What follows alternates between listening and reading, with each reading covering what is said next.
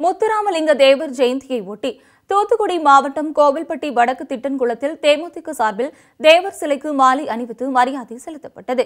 தமிழகம் முழுவதும் முத்துராமலிங்க தேவர் ஜெயந்தி மற்றும் குரு பூஜை விழாவை ஒட்டி அவரது உருவ சிலைக்கு பல்வேறு அரசியல் கட்சி தலைவர்கள் மரியாதை செலுத்தினர்.